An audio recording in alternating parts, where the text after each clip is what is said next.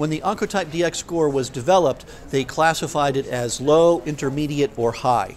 And those uh, benchmarks were set because they wanted a low risk to be 10% or less chance of recurrence, high risk was 30% or higher, and intermediate was in between.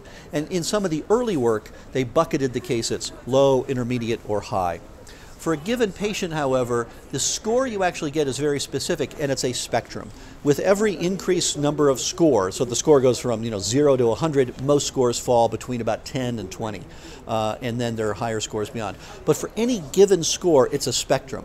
And so you can look at the materials that you get when you order the test, and it shows you the outcomes for chemotherapy plus tamoxifen, the outcomes for tamoxifen alone as a function of the score, and the difference between the curves is the magnitude of the benefit for chemotherapy. And I show patients those curves on the form that you get the score back with. It, it, it lines up where their score is, and it allows you to very carefully estimate what the role of chemotherapy might be. So while there's intermediate in the literature, for any given patient, there's only a number, and you know there's a range of what the benefit of chemotherapy will be based on that number.